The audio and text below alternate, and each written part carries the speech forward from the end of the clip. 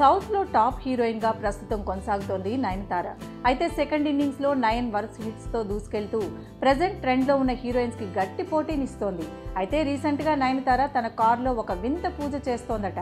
కానీ అది నిజ జీవితంలో కాదులేండి ఒక మూవీ కోసం.